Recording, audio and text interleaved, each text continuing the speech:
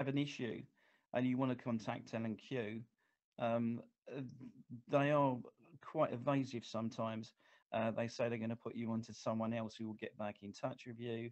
Then that takes a long time. I know there've been issues over the, the COVID pandemic.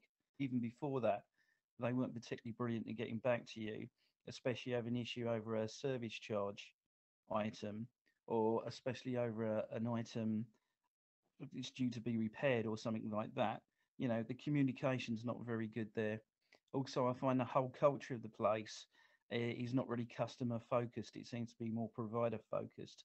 And it's very much about, you know, you're almost the minor annoyance getting in touch with them and you're getting in way of them making more money so they can go out and buster up their chief executive salary. Uh, that's very much the feeling. You know, they seem to be less focused on the people they're supposed to be helping than keeping their organisation growing.